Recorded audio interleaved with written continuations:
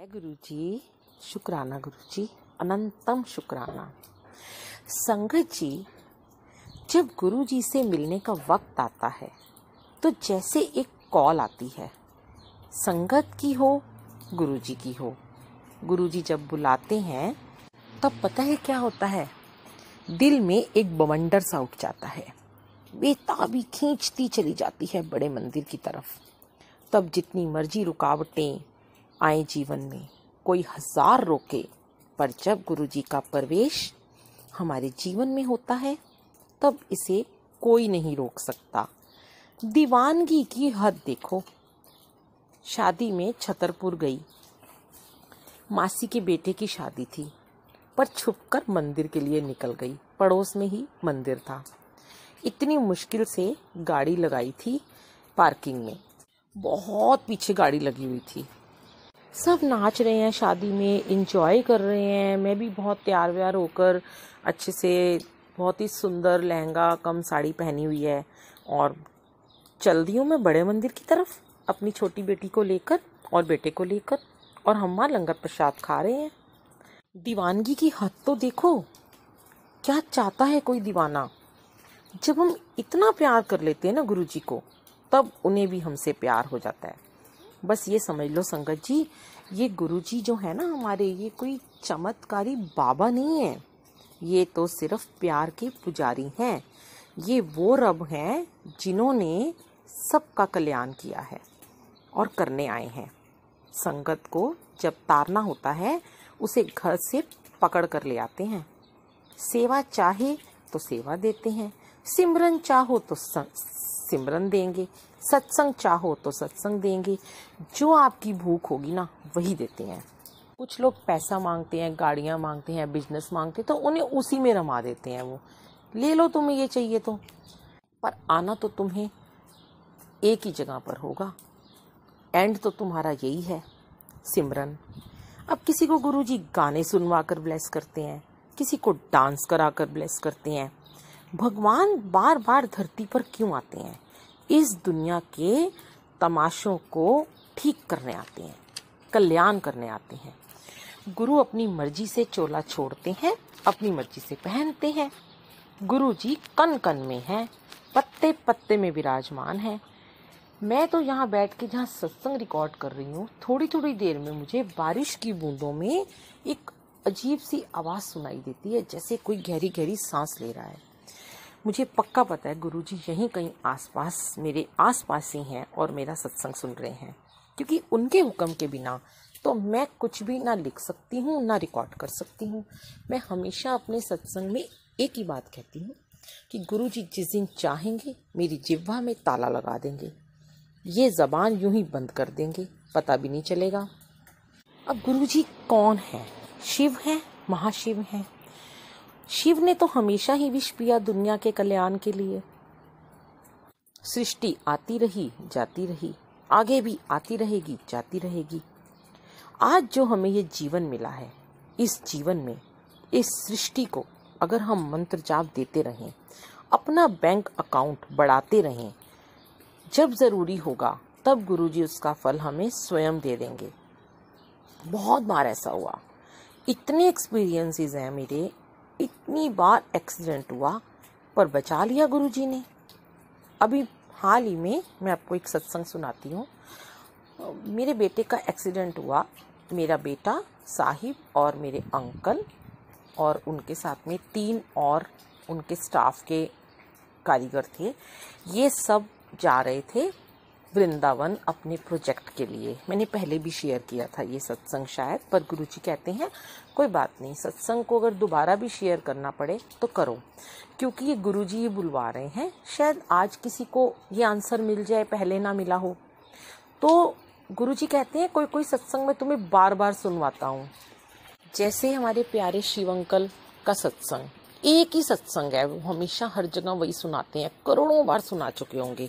तो ये गुरु जी का हुक्म है कि वो वही सत्संग सुनाए। तो गुरु जी कहते हैं, हर बार तुम्हें उसी सत्संग में कई बार कुछ नया सीखने को मिलता है। कई बार आजकल गुरु जी मैं जब यहाँ थोड़ी उदास हो जाती हूँ तो मुझे मेरे ही सत्संग सुनवाते हैं।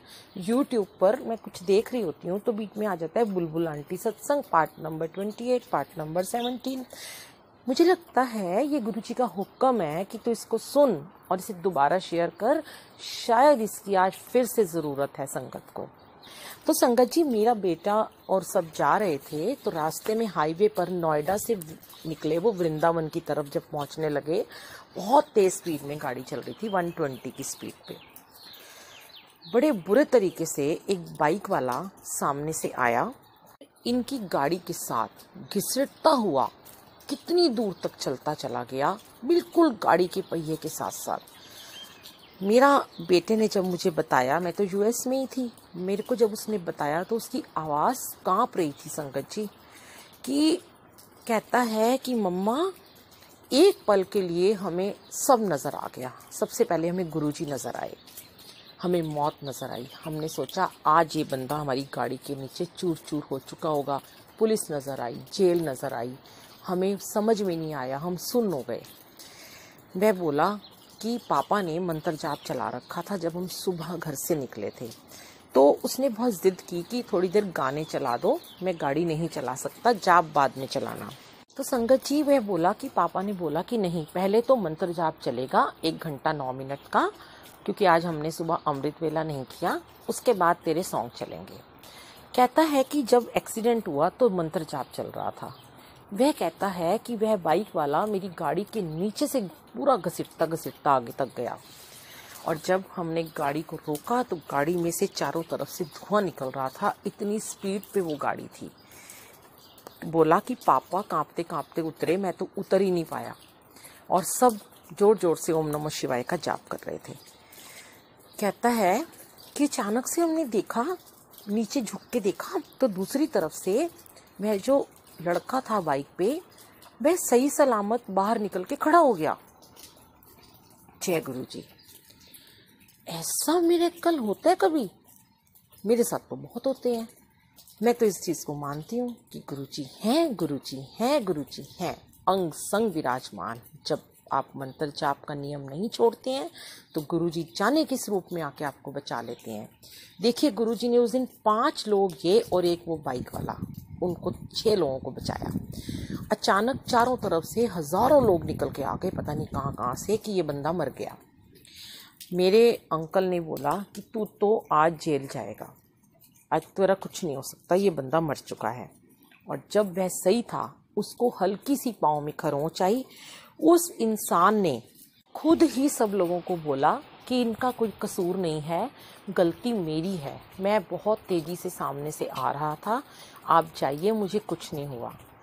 तो मेरा बेटा बोला कि मैं आज मैंने अपनी जान को जाते हुए देखा और मैंने अपनी जान को वापस आते हुए देखा। ये गुरुजी आए। गुरुजी ने हमें हाथ देकर सबको बचा लिया। गाड़ी बहुत बुरे तरीके से टूट गई थी। कोई बहुत बड़ा कष्ट था जो इतनी जाने चली जाती, पर गुरु जी ने थोड़े में काट दिया। मैं यहाँ बैठकर शुक्राना कर रही थी गुरु जी मैं यहाँ बैठी हूँ अभी अभी आई हूँ, और अब आप बताओ, कुछ हो जाता तो मेरी आत्मा तो यहीं तड़पती रहती ना, मैं कैसे आती वहाँ? पर आप हो ना, आपके हवाले सबको छोड़ा है। तो गुरुजी ऐसे ही एक बार, एक और सत्संग, आज मैं अपने बेटे की आपको सत्संग सुना रही हूँ। ये है, जब हम नए नए गुरुजी से जुड़े थे, तब की बात है। तब मुझे बहुत अलग अलग मंदिर से स्वरूप मिलते थे। कभी बेटे के पढ़ाई के लिए मिला, ट्वेल्थ थी, तब मिला, बेटी की शादियों के लिए मिला, पहली बार मुझे येलो चोले में स्वरूप मिला तो मेरे हर कमरे में स्वरूप लगे हुए थे। तो मैंने अपने बेटे के रूम में स्वरूप फ्रेम करा के भी बेड पे रखा था कि इसको मैं कल सुबह लगाऊँगी वॉल पर। अगले दिन मैं अपना, उस समय मैं स्टूडियो जाती थी, वो देर से सो के उठा, उसकी, उस दिन वो घर में था। तो मैं चली गई स्टूडियो गर्मी के दिन थे संगत जी। मुझे कॉल आया एक डेढ़ बजे करीब कि मेरे अंकल ने बताया कि बेटा मेरा साहिब सो रहा था, ऊपर पंखा चल रहा था। पंखा बिल्कुल सही था, कोई उसमें आवाज़ नहीं थी चलते चलते वो पंखा, चलता हुआ पंखा मेरे बेटे के ऊपर गिर गया, उसकी टांगों के ऊपर। और आप बिलीव करोगे कि उसने उस समय सिर्फ़ एक छोटी सी शॉर्ट्स पहनी हुई थी। गर्मी बहुत थी, लाइट चली गई थी, एसी बंद था तो उसने अपने चादर वादर सब हटा रखी थी, कपड़े भी नहीं पहने हुए थे।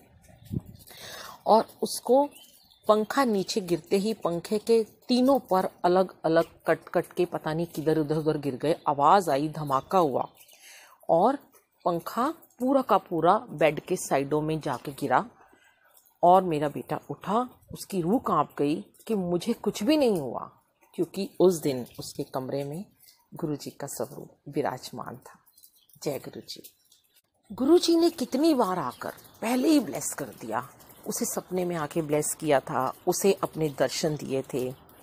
संगत जी, गुरु जी, एक डिवाइन लाइट है। वह एक रोशनी है, जो अगर किसी को नज़र ना भी आए ना तो भी उसका तो कल्याण होना ही है, अगर उनकी कृपा हो जाए। एक अंधे लड़के को दिखे, अंध विद्यालय में हमने सत्संग रखा था वहाँ पे एक बच्चे से उसका एक्सपीरियंस पूछा कि तुम्हें यहाँ क्या महसूस हुआ? यहाँ पर गद्दी पर कौन बैठे हैं? कौन से गुरु जी हैं? तो उसका कितना सुंदर एक्सपीरियंस था संगत जी। वह बोला कि मुझे तो यहाँ पर एक रोशनी दिखाई दे रही थी और कुछ नहीं। कमाल है। अंधे को रोशनी दिखाई दे रही है गद्दी पर। क्या है हमारे गुरु जी फिर एक डिसेबल लड़की को ब्लेस किया। डिसेबल बच्चों के यहाँ सत्संग करवाया।